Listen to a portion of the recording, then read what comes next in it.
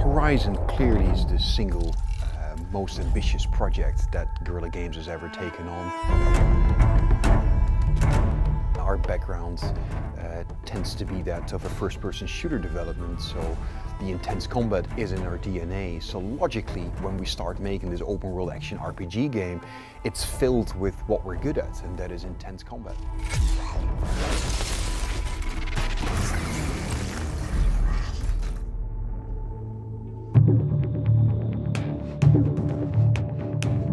It wasn't an easy transition going from Killzone to Horizon. It's, it's, it's a big leap. It's in some cases sort of 180 degree turn that we've done with the company where we went from something that we knew very well to something that we knew very little about initially. And it's been five years of learning how these games work, how the systems work, how the designs of it works.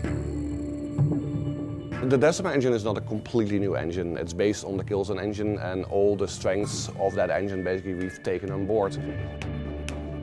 Also the combat with, uh, with the Helghast, we came up with this uh, hit reaction system where you could shoot them in the knee, they would fall down and you could shoot them again, shoot off the helmets, etc. So we added these layers of tactical opportunities for the player to add more depth and to make it also more fun. And that's one of the things that we've adopted for Horizon with building the combat with the machines.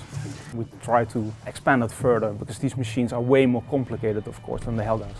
We wanted something basically that people hadn't really seen before in RPGs, basically, where you could just literally go in there and physically take off individual armor plates. The areas that needed most improvement in the engine, I think, were everything related to open world. So everything streaming, uh, being able to draw like you know tens of kilometers of uh, view range, everything being so out of order. You can go anywhere at any moment, pick up anything. Everything is very dynamic. We were primarily basically using very sort of outdated scripting tools, uh, that allows you to make a very scripted experience, but didn't really allow you to make a, a large world.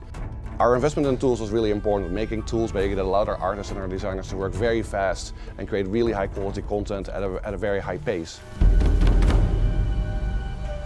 Horizon is the first time uh, we are creating quests. Uh, so we had to invest a lot in terms of technology, open world engine, etc., but also in assembling the team, hiring a writer's team, a quest design team, etc. So it's been a huge undertaking for the studio.